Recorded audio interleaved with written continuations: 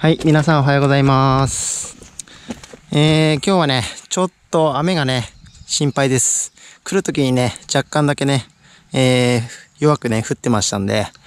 うん、ちょっと午前中だけね、ユンボを使ってゴミの掘り起こし、今ね、10時ぐらいですんで、で、午後はね、またちょっといろいろ片付けとかありますんで、えー、そっちの方やっていきたいと思います。まず午前中ね、えー、ユンボで掘削するんですけれども、えー、前回試しに掘ったここの真ん中の部分ね、前回山になってて、えー、その山を片付けまして、で、その下の部分をね、今度掘り返さないといけないんですけども、えー、ちょっとね、試しに掘り返してみても、やっぱりね、黒い土が出ます。ちょっとね、カメラではやっぱりね、分かりにくいと思うんですけども、色が違うんですよ。で、あのー、よくわかんないのがね、こういう感じこう、なんか地層見たくなってるんですよね。この黄色い部分と青い部分と黒い部分。で、ここはね、水が多分染み出てきたやつです。どっから出てくるのかわかんないですけど、あの、こういったところからね、これも汚染されてますね。あの、水っぽいのがね、流れてきて、こう、ちょっと溜まってきたりするんですよね。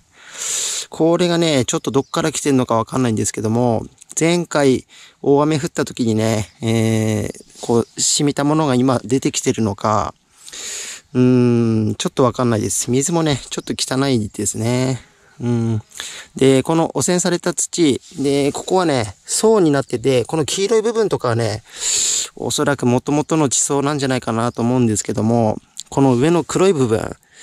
ここはね、汚染されてる土かなと思います。なんでかっていうと、この黒い部分にはね、ゴミが入ってるんですよ、こうやって。こんな感じでね。で、もしかするとその土壌の汚染されたのが、だんだんとこう、下に、えー、来てるのかなっていう可能性もあるんですけれども、もしね、ちょっと詳しい方いたらね、教えていただければと思います。で、この黒い土の原因なんですけども、掘ってるとね、なんとなく分かってきまして、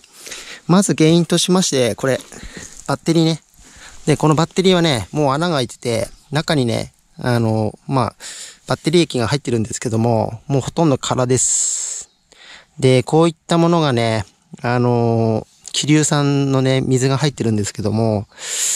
うん、これが多分ね、まず原因になってきてると思います。で、こういったあの液体とかね、あと油とかね、そういったものが流れ出てきて、